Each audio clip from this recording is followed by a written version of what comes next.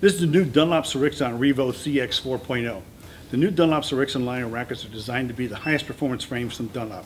Think about an AMG version of a Mercedes-Benz and a racket, and that's the new Dunlop Srixon rackets. This is a 24 millimeter flat beam, 100 square inch head size with a 1619 string pattern. This 100 square inch face is designed to enhance power.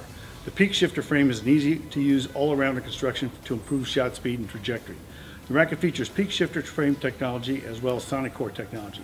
Peak shifter frame is, is a design which enhances bite on the ball and frame resilience to facilitate higher speed and higher spin trajectory.